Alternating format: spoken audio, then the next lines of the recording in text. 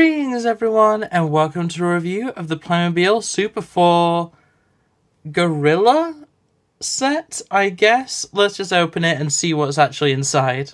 So, first off, we have the Gorilla itself, which uh, doesn't really look that Playmobil y, but also doesn't really... I don't know, it doesn't really look like it would fit into many displays other than a Playmobil display. Um, articulation is actually pretty good on it, which might as well go over that immediately. We do have a hinge on the neck, which allows for back and forward. The forward's pretty much neutral, though. At the arm, you have out, rotation, and then at the wrist, I suppose, there is supposed to be rotation, but it's very tight. I almost feel like I'm snapping it. By doing it, I've also kind of got it stuck there. But, uh, yeah, it should be able to rotate fully. I think on this side it's a little bit looser. Okay. no, it's it's just as tight, but you can rotate on that side a little bit easier. This side's a little bit more fiddly, but it does work. And then the legs, you've got forward and back. Not terrible. Nothing at the uh, the ankles. Sorry. Um, overall, just like it's a, it's a nice little thing. It's really weirdly molded on the back with this like chunk that's just like separate. I don't know whether that's to do with how it's put together or something like that, but it just looks very weird to have seam lines in that very specific way. But yeah, overall, it's got a nice little paint to the face. looks looks pretty cute, honestly, and overall, it's it's a pretty interesting little thing. Next up, we do have the, I guess, the businessman. I'm not really sure what he's actually supposed to be, but he's a man in a suit with some spiky hair and uh, a weird mustache. I don't really know what to, to make of this, really. It doesn't really make sense to be in a set with a gorilla. Um, by the way, the scale wise, gorilla is its entire head is that how much taller it is than the figure. Um, I mean that seems kind of realistic, very wide.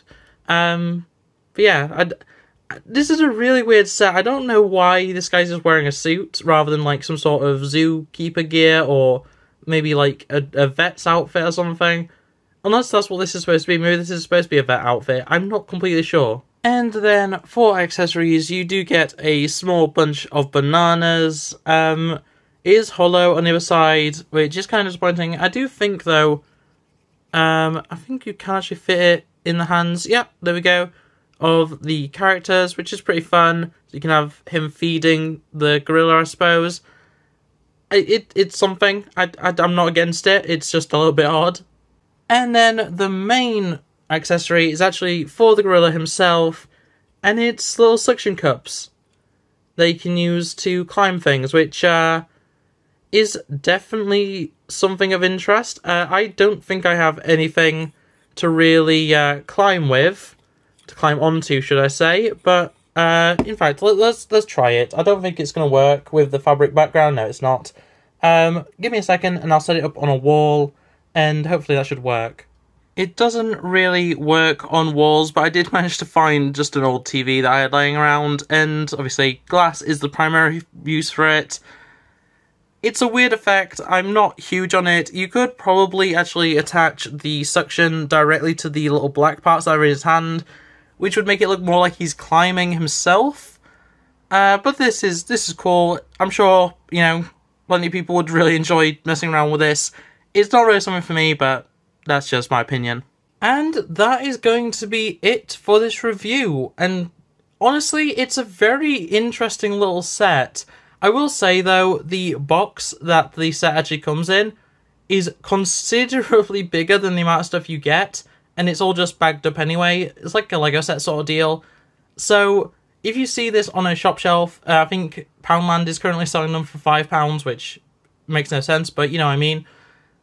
I, I, think you can get them cheaper other places, and on the shelf, they look like they're probably going to have a lot more. I was actually expecting the gorilla itself to be a lot bigger than it actually is, but all in all, I think it's still a little fun. It's just a nice little set.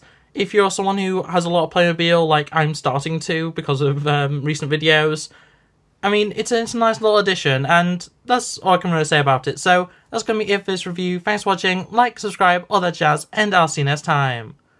Bye!